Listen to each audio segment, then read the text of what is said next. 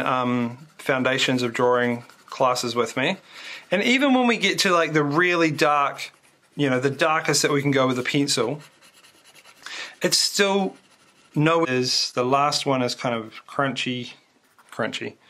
I guess it's a molar or whatever. I don't really know about teeth. There we go. And the thing is with this, like, it doesn't actually have to look exactly like the picture. It just has to look generally like